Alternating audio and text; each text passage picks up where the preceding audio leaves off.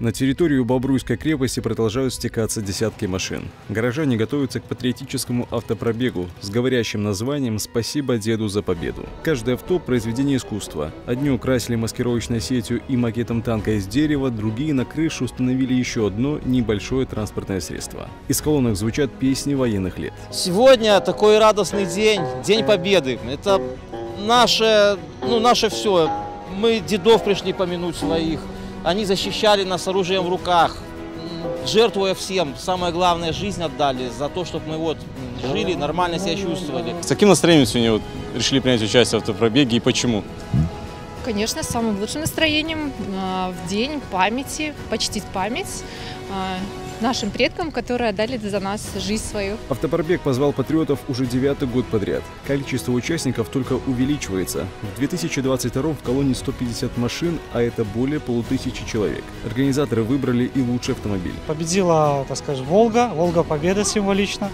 А, Ну и остальные участники, победители, это тоже советский автопром. Подарки, значит, э, э, книги об Авруйске, очень интересные, красочные. И от нашего красного пищевика э, сладости. 14.00. Колонна начинает движение. Маршрут следования – Карбышево, Минская, деревня Сычково.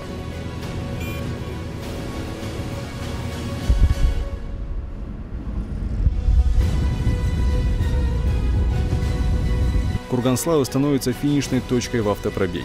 Участники возлагают цветы к подножию мемориального комплекса. На этом месте заложена капсула землей из 70 братских могил, расположенных в Бобруйском районе.